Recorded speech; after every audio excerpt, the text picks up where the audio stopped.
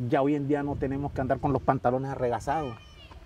Llegamos a la casa, a nuestras casas sin el barro, sin el polvo.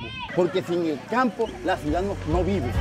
Nosotros como campesinos tenemos la obligación de trabajar y llevar nuestros productos hacia las ciudades.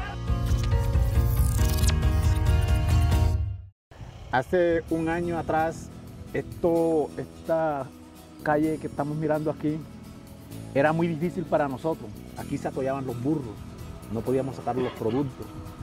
Nuestros productos se nos, se nos, se nos podrían aquí en la región porque no teníamos cómo sacarlo. Hoy en día es una vía que parece una, una autopista. Nuestros productos ya hoy en día tienen mejores precios, una mejor calidad porque no van maltratados. Hoy en día nuestros productos salen fresquecitos para los almacenes de cadena. Ha sido lo más importante para este, para este campesino.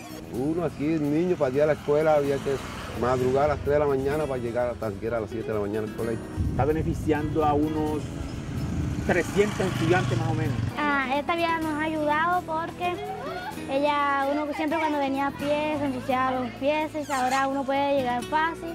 Cuando teníamos cita a un enfermo al hospital de ser una odisea, teníamos que madrugar medianoche para ir a coger un turno al hospital. Hoy en día ya no. Todo ha cambiado para nosotros. Dese de cuenta cómo está la gente de feliz, cómo la está andando la gente. Esto es que nosotros nos alimentamos, con es que nosotros trabajamos, luchamos, damos gracias a este gobierno que realmente ha hecho muchas cosas bonitas por Colombia.